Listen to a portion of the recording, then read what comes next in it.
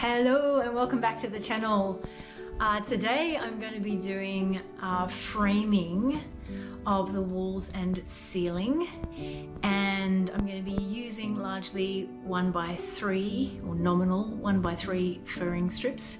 Nominal means it's not exactly one by three basically it's a way of describing nominal um, which is these super light um, and then my other tools today are going to be a chop saw that I have in front of me and these fabulous little hex bolts and um, a bit for that, a screwdriver, always needing a tape measure and I don't have a pencil with me but a pencil. And this is the mystery ingredient I can't quite show you it but Play-Doh. Yeah Play-Doh thanks to one of the people that I watch a lot, Seven of Sarge, giving him a shout out. I'm going to be using Play-Doh to mark out and to find and discover where my Rivnut holes are. So that's what that's for. Um, yeah, if you haven't subscribed, please subscribe over here. Press on the little bell icon and that will notify you of any more uploading videos, which I'm constantly doing at the moment. So let's get started. Hi, I'm Candice. I'm a lover of mountains and meditation and have decided to minimize my life, buy a Sprinter van and convert it into a tiny home on wheels. Having a background in interior design, I'm going to give you my tips, views and experience on design and how to project manage your conversion whilst being a total novice at doing the actual build. So I'm back in the van now and I'm going to start measuring up I'm going to start with the ceiling furring strips. It's just the thing that feels like the best next step. So here we go.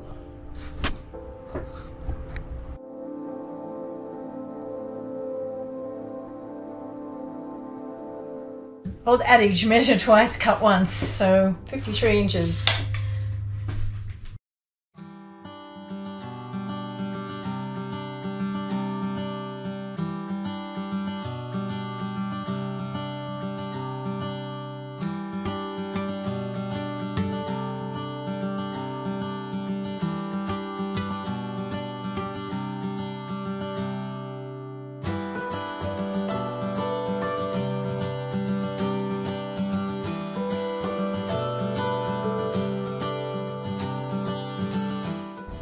So there we have five pieces cut.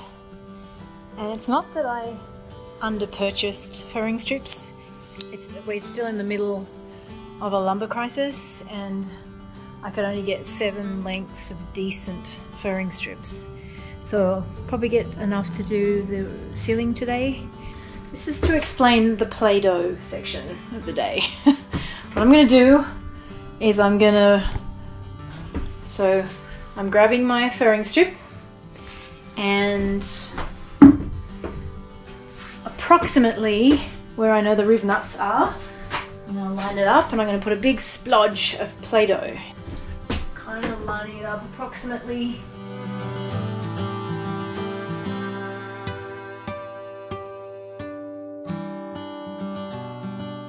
So I hope you can see that.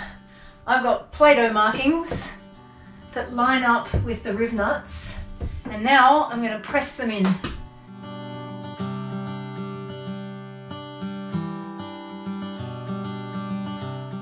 Okay, I don't know if you can see that. What we've got here is little divots. See that? That's the divot where the riv nut belongs. And so now I can take it and know where to drill.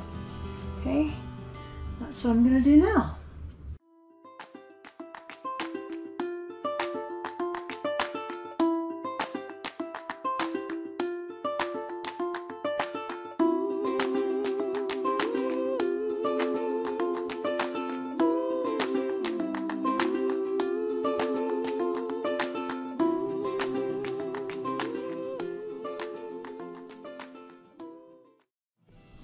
So I don't know if it's because this is quite a curved surface and you actually have to curve the wood up into position, but the Play-Doh method hasn't worked. So what I've done is this, where I've just lined the wood up against the edge, made a big thick lash, and then when I lay it down, I'm putting a square edge against it.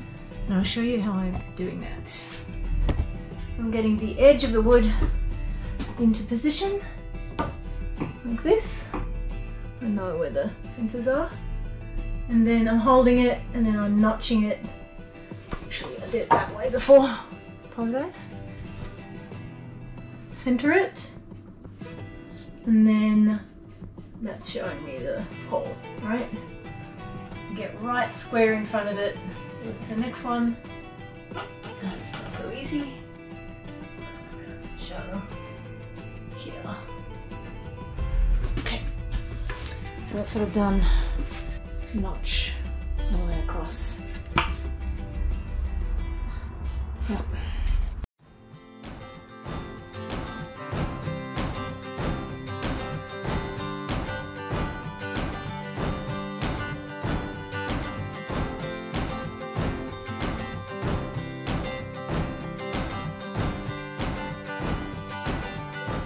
So here we have the furring strips mounted to the basically ceiling joists, the metal ceiling ceiling joists. And um, as you can see here, they're bolted and countersunk so that when I put the sub-ceiling material, it's going to not hit that. And there we have it all the way through.